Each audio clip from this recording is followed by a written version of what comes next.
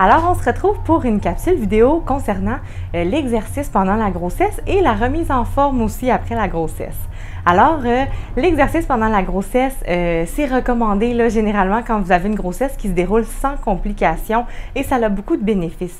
Euh, j'insiste sur le fait d'une grossesse sans complications parce qu'il y a certaines conditions qui peuvent faire en sorte qu'on va recommander à une future maman de ne pas s'entraîner ou de rester au repos ou de limiter certains exercices. C'est pour ça que soyez certaine d'avoir l'approbation du professionnel de la santé qui vous suit et qui connaît bien vos antécédents et votre grossesse actuelle à propos de ça.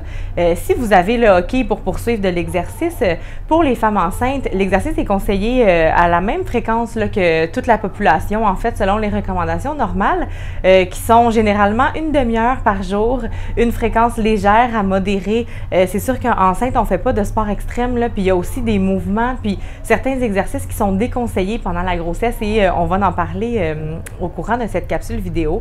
L'exercice, là, pendant la grossesse, ça peut vous aider pour plusieurs choses.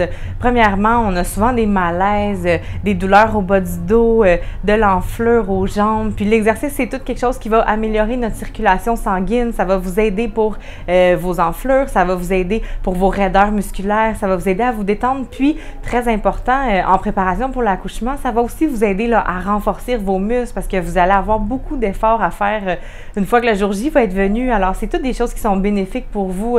la détente aussi, la relaxation, vous aider à mieux dormir puis vous redonner une, certaine forme d'énergie. Puis ça, c'est drôle parce qu'il y en a des fois qui disent Mon Dieu, je suis tellement fatiguée, euh, je pourrais jamais imaginer là, aller m'entraîner. Je, suis déjà, euh, je m'endors tout le temps, puis c'est normal enceinte, là, au début, puis à la fin, on s'endort beaucoup. Mais euh, ceux qui sont habitués de faire du sport, là, ils vont comprendre, c'est sûr, quand on s'entraîne, oui, c'est exigeant sur le coup, mais c'est pas un exercice qui est trop trop intense, surtout enceinte. Puis ce que ça fait, c'est que l'énergie revient. Donc ça semble contradictoire, mais c'est vraiment un regain d'énergie que les gens y vivent. Alors euh, pourquoi pas, je vous dirais.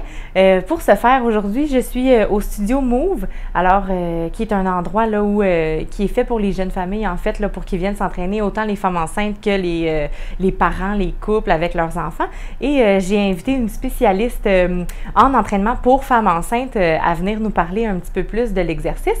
Euh, comme vous pouvez l'avoir vu peut-être ou en avoir entendu parler, il y a plusieurs cours qui sont disponibles pour les femmes pendant la grossesse, comme euh, l'aquaforme, euh, des cours d'aérobie quelconque, des cours de pilates. Et aujourd'hui, bien c'est sûr que je ne peux pas vous expliquer tous les sports qui sont disponibles, mais on va venir faire un petit tour pour en apprendre davantage sur le pilates et l'exercice pendant la grossesse. J'ai le plaisir d'être accompagnée de Julie, qui est une spécialiste en conditionnement physique et qui est aussi formée parallèlement, là, plus précisément en pilates. Donc, euh, merci beaucoup, Julie, d'avoir accepté euh, d'être avec nous. Ça me fait plaisir. Et euh, elle va nous partager vraiment son expertise, puis nous faire découvrir un petit peu les pilates.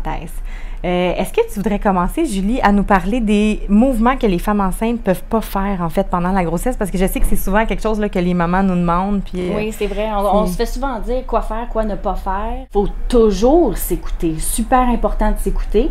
Écoutez, évidemment, les recommandations de votre médecin, le cas échéant, c'est clair. Mais sinon, vraiment, de bouger à tous les jours, ça va vous permettre de rester dans l'action, de rester dans votre corps aussi, pas mhm. trop aussi, parfois dans notre tête. On entend ça souvent. Alors, ça fait donc du bien. Mhm. Et c'est la raison pour laquelle moi je dis aux gens bougez, peu importe votre niveau d'énergie. On bouge. Pour tous ces beaux bienfaits-là. Puis l'équilibre de la prise de poids pendant la grossesse aussi, là, qui peut nous aider. Mhm. Alors, euh, sur ce, je ne vais pas retenir Julie plus longtemps. J'espère que ça a été aussi intéressant et informatif pour vous que pour moi. Et euh, on va la suivre parce qu'elle s'en va donner justement un cours de pilates. Alors, on va vous faire découvrir un petit peu euh, à quoi ça ressemble.